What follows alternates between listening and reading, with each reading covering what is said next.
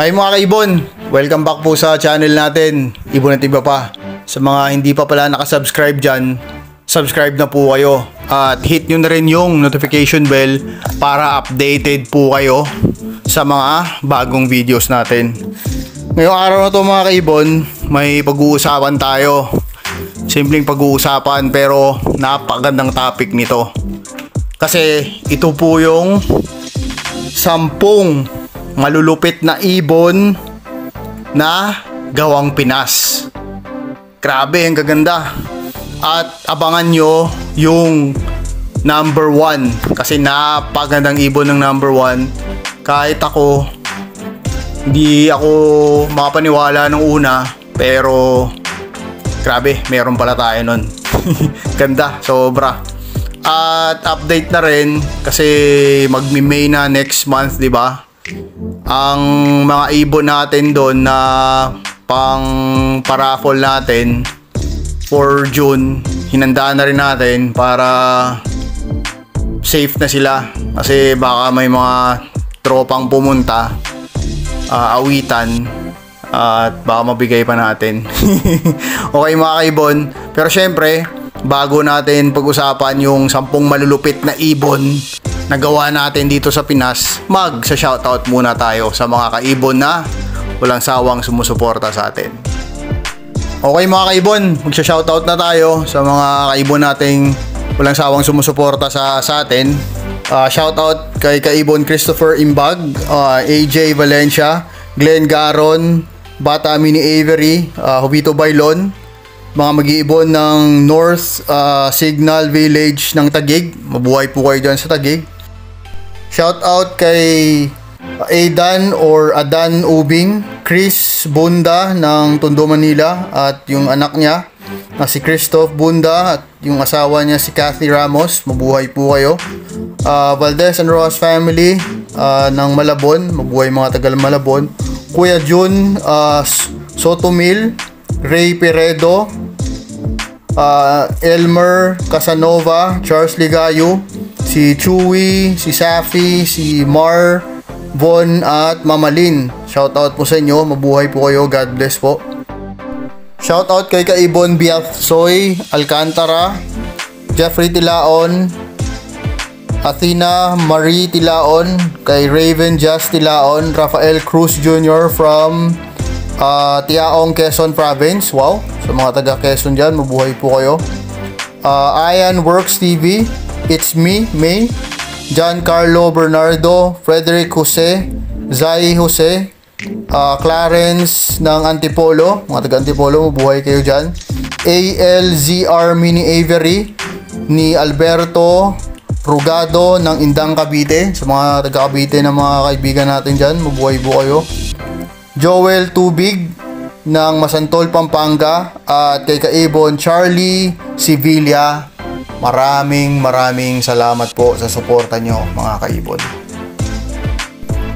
Okay, ngayon mga kaibon, syempre pag-uusapan na natin yung topic natin, yung sampung malulupit na ibon na syempre gawang Pinas. Meron na tayo ng mga ibon na to.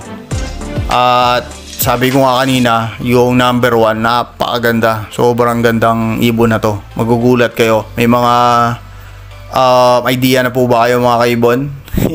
Feeling ko, ewan ko kung iba meron na, pero i-discuss na natin. Okay?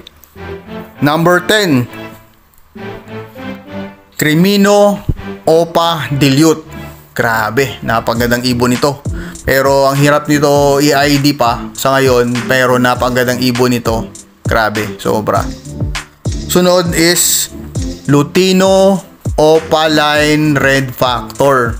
Lutino Opa RF. Grabe. Gandang ibon nito. Sobra.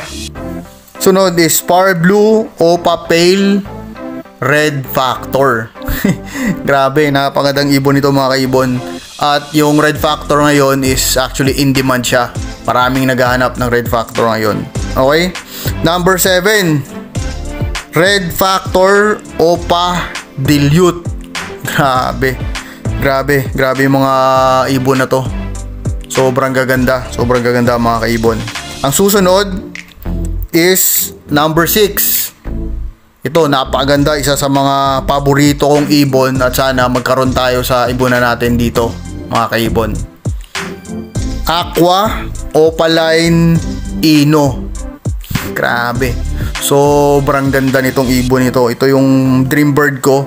Sana magkaroon tayo nito sa ibonan natin at sana makapagpabuga na tayo sa second clutch ng ibon natin, mga kaibon. Sana. Number 5, ito, grabe, ganda din. Hindi ko inakalang napaganda nito. Aqua Opaline Pied Split Dan Follow. Grabe. Napakagandang ibon nito, mga kaibon. Sobrang ganda. Feeling ko sa personal, grabe mamamangha siguro ako nito sa personal kasi sa picture saka sa video pa lang napakaganda na. How much more siguro pag nag-visual done pa to, no? Grabe, napaganda siguro nito. Ang susunod is Aqua Opaline Homozygote. Ito na yung pinag-uusapan nung nakaraan, yung technical term o yung uh, tamang pangalan ng Aqua. Kasi yung dumarating sa Pilipinas, di ba? Aqua B1 at B2. Uh, ah, ang sabi pala dito is hindi pa pala yon yung purong Aqua Tama po yung narinig nyo, hindi pa po yun sabi yung purong aqua. Kasi ang sabi daw, yung purong aqua is anak ng back-to-back aqua. Yun na po yung aqua na homozygote na sinasabi nila na purong-purong aqua. Pero ngayon, since uh, ginagaya lang natin yung uh, mga pangalan na pumapasok na ibon sa atin dito, syempre, magsistick pa rin tayo sa Aqua B1, Aqua B2 kasi sila pa rin yung materyales para makapagpalabas tayo ng aqua homozygote na tinatawag nila. Ito yung pink na yung um, ulo tapos yung big pink pa din. Napaganda, napagandang ibon ito mga kaibon. Sana magkaroon na tayo or makapag uh, palabas tayo sa ibunan natin ito mga kaibon. Aqua homozygote ino. Grabe. Hmm. Sana. Ganda nun siguro. Ang susunod, syempre, hindi mo mawawala ang green opa yellow face. Mayroon na tayo nito sa Pinas. Aside from nag-export tayo, nag-import tayo, 'di ba? Nagpapasok tayo ng um, ganitong mutation pero may pabuga na tayo nito sa Pinas mga kaibon. Napakagandang ibon din. Uh, sobra, sobrang gandang ibon. Actually nakita na ako nito sa personal grabe, matutulo, tumutulo yung laway ko sa sobrang ganda. Sa sobrang ganda ng ibon na yan. Okay? Ang susunod, kaka-post lang to, kanina lang. Yellow Bulls Yellow Face Opaline. grabe. Grabe na ngayon yung pinapalabas ng mga uh, breeder dito sa Pinas. Hindi na basta-basta. Kasi nagkaroon na tayo ng materyales eh ang importante lang din naman kasi sa pagbe-breed is magkaroon ka ng magandang materyales, kumbaga magandang foundation. Kasi pagka mayroon ka ng magandang materyales, may panggamit ka na, may panghalo ka na kahit sa anong mutation na mayroon tayo available dito. Marami pa ta, marami pa ako nakikita magagandang mutation na pinapapuro pa nila. Pero ngayon nakikita ko ito yung uh, mga nakapost na Number 2, yun nga yung Yellow Bulls Yellow Face Opaline. Napakagandang ibon. Sobrang gandang ibon, mga kaibon. At syempre, magtataka kayo, o bakit ano kaya yung number 1? May mas maganda pa kaya sa mga yellow face na to? Sa mga aqua na to? Sa mga red factor na to? Syempre, meron mga kaibon. Ito, nakita ko to last year pa. Tapos, meron ding nakapagpalabas nito this year. Okay, sana maging isang mute ano na to, complete mutation na to sa atin dito sa Pinas. Kasi kung tayo lang magkakaroon nito, grabe, napakaganda nito. Napakaganda kung magkakaroon tayo nito. Kasi sa ngayon, syempre test breed pa to. Kasi hindi pa masasabing mutation kasi hindi pa siya nakapagpalabas ng ganitong mutation. Kasi ang isang ibon, masasabi mo lang na maging bagong mutation siya. Okay? Masasabi mo lang yung ibon na bagong mutation siya if naglalabas siya ng katulad niya. Okay mga kaibon? Bagong mutation, naglalabas siya ng katulad niya. Doon mo lang masasabi na bagong mutation siya. Pero pag hindi pa siya naglabas ng katulad niya, hindi po pa siya matatawag na bagong mutation mga kaibon. Okay?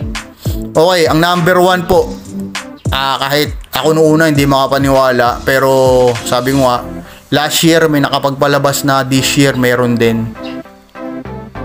Ito yung tinatawag nila na blue eyes mga kaibon. Tama po yung narinig nyo. Yung ibon na to, ang mata is kulay blue. Napakagandang ibon nito. Siyempre, number one talaga to kasi tayo, tayo pa nakapagpalabas nito eh. Pinoy nakapagpalabas nito eh.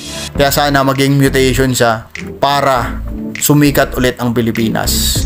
Di ba mga kaibon? Uh, 'di ba? Red eyes, jelly eyes, dark red eyes, ganun yung mga nilalabas. Ito blue eyes mga kaibon. Sobrang rare, sobrang kakaibang ibon to na napabuga ng isang Pinoy mga kaibon. Ewan ko kung iba nakakita na pero sa mga hindi pa na nakakita nito sobrang namamangha ako sa ibon na to. Feeling ko recessive to kasi hindi ka makapagpalabas nito na isa lang katulad ng mga siyempre Dan, Pale, Ino feel ko kailangan yung both na parents may dugong blue eyes para makapagpalabas ka ng blue eyes kaya feeling ko yung mga meron na nito dito sa Pinas syempre binibreed na nila talaga to para makapagpalabas sila ng blue eyes at sana ito na yung bagong hudyat na sisikat na naman ulit yung Pilipinas kasi may bagong mutation na naman tayo dito mga kaibon. Okay? okay mga kaibon, uh, sabi ko kanina, ang uh, raffle natin, tinago ko na yung mga ibang ibon doon para safe na sila. Uh, may ang may mutation na yon may dilute na doon na visual o papel, ah, may pale split dilute ba yon o post dilute, mayroon na rin doon nakatago. Basta, basta may mga nakatago na doon mga kaibon, i-announce na lang natin yung exact mutation nila pag malapit na. At yung um, ano pala natin, yung pagagawa sa inyo, napakadali lang para makasali sa paraffle natin. Okay? Uh, wag nyo rin pong kalimutan mga kaibon, i-follow tsaka i-like din yung FB page natin, Ibon at Iba pa. Para po, minsan doon kasi ako nagpo-post para updated po kayo parate. Okay? Sana po mga kaibon, nag-enjoy po kayo sa topic natin ngayon kasi napakalupit ng mga ibon na to. Ako nag-enjoy ako nung nagre-research ako. Grabe, nag-enjoy ako. Uh, God bless po sa pamilya nyo God bless po sa lahat ng minamahal niyo sa buhay. God bless po sa lahat ng mag-iibon. Ibon at iba pa po. Maraming maraming salamat. Bye po.